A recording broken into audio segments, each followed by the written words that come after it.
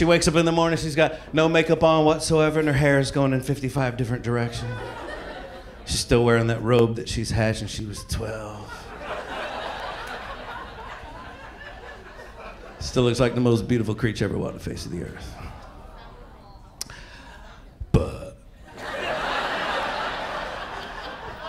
Every morning she walks down the hall, I hear the weirdest noise coming out of her face. Every morning.